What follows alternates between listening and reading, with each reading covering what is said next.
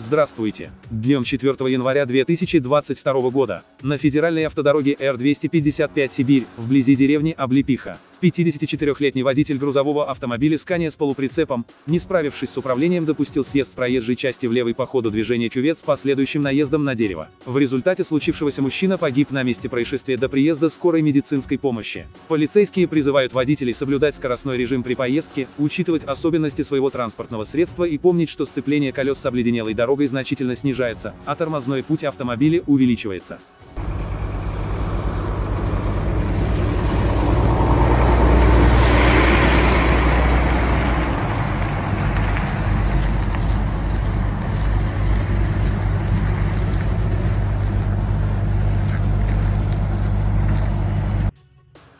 По официальным данным ГИБДД России, за прошедшие сутки 4 января 2022 года, на российских автодорогах зарегистрирован 191 случай ДТП. В них погибли 26 человек. Различные травмы получили 269. 32 из них – дети.